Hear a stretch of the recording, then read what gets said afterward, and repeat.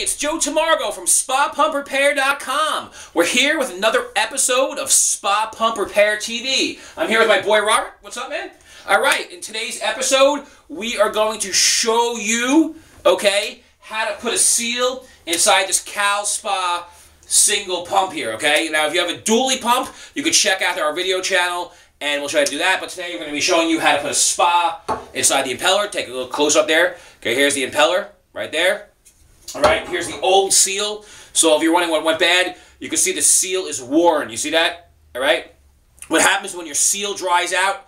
These two pieces twist together and they wear out and they become uneven and doesn't make the seal in the shaft. Okay. Today's episode is sponsored by PoolandSpa.com. You can check out the cool t-shirts they sent us. Robert's got one right there, poolandspa.com. So if you need a new pool pump, a new pool slide, you know, if you need some chemicals, go to poolandspa.com. We'll give a little shout out here in the back of the shirt. There you go, poolandspa.com TV. All right, so we're going to start this episode off, me and Robert.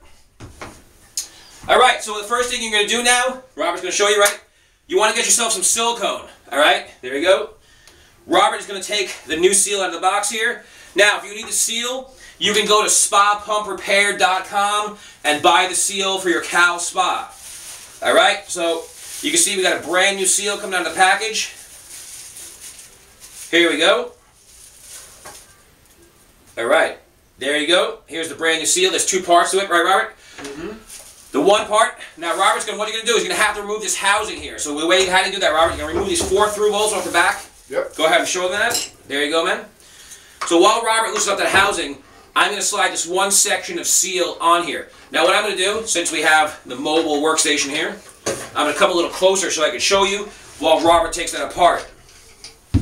Okay, so what you want to do here, check it out, you want to get some seal lube and you want to pour it on the, uh, the shaft of the impeller just like that, okay? And then once you do that, that's going to lubricate the impeller shaft. Then what you want to do is stick your finger in there, get a little lubrication inside that, that little piece of rubber, and then you want to slide your seal just like that onto your impeller, okay? So that is one part of your seal that is now mounted onto your impeller. Robert's over here loosening up the back, and you know what I mean? We're pretty up close and personal here, but hey, Robert's over there showing you how to take it off. So once Robert gets those four through bolts out, right, Robert? Yep. He is going to take off that front seal housing, all right? What I'm going to do then is I'm going to silicone the seal seat into the seal housing, and then what we're going to do is we're going to put, attach the seal housing, tighten the impeller, and then put the front of the pump on. Okay, so Robert's just about done with that. I'm going to grab some gas. You can use clear silicone or gasket sealer or something like that.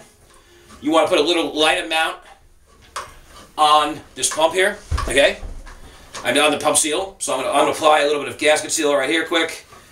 All right. Robert is almost done with that. All right, so he's got the seal housing. I'm going to spread this silicone around. You want to just put a light coating just like this, okay? Right around. And then once you put a light coating on there, okay? There you go, man. So here you go.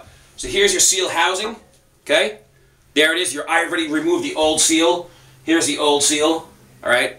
We've already popped that old seal out. So what you want to do is keep your finger on it like this and kind of just slide it down just like that inside there, okay? Uh, now what we use is a little something called a seal tool. It's just a piece of plastic that we push, okay, and it pushes the seal right in. I'm going to use it on the floor right here, okay? All right, now once you get that in there, you want to make sure there's no silicone on your seal because if there's any silicone on your seal base or your seal seat, it's not going to grip right, you know what I mean? All right, so this seal looks pretty good. I'm just going to make sure it's extra clean on the face here, which it is. All right, now Robert is going to screw this back together. All right, Robert, you got the marks there? Yep. All right, so Robert's now going to slip this back on, and then we're going to put the impeller on. All right, so there's a close-up look. Let me show you one more time. Up close, you see that? The seal's in there. You got the silicone on the back. You see that? All right, and you can see it in the front. So you got the silicone there. There you go, Robert. And then you got your section on the impeller. Because so many people's always ask us in these videos, right? They're always like, dude, you guys never put it back together. So here we are putting it back together, okay? Because I know we have a lot of videos out there, we're like, and we're taking it apart real fast. But here's a video where we're actually putting it back together. Okay, remember, visit poolandspa.com. Here we go again, poolandspa.com TV. sponsored this episode. So if you need a pump, you need a slide, you go on over to uh, poolandspa.com. All right, so we're going to get back to Robert. Robert's going to put these through bolts back in. I'm going to put the impeller on right now. Okay, here we go. All right, so Robert's got that. Now you have a little cap in the back of the motor here that you can tap off with a flathead screwdriver like this. Move that box of the way so you can see what I'm doing. And that cord. Alright, so you can see here. And tap this off. Hold that, hold that, uh, yeah, tighten those through bolts up quick. Gonna tighten the through bolts up real fast. I'm gonna get the impeller just started on here like this. Okay? Then once you get these through bolts tightened up, we're going to be able to tap that little cap off. There's a little uh, metal cap right in the back there. All right. Keep it going, brother. I tighten this up here. There you go. All right, so tighten the only through bolts down. then get your flathead screwdriver. And you once again want to tap this little metal cap off like that. All right. Whoa. I don't want to hit Robert in the face even though some of our fans out there would probably like to see that, right? So like, hit him with the screwdriver, hit him with the screwdriver. All right, so once you do that, you'll see there's a flat slot in the end here, okay? You want to take your screwdriver and set it in there to hold it. That way you can spin your impeller. All right, so Robert will hold that screwdriver, go ahead.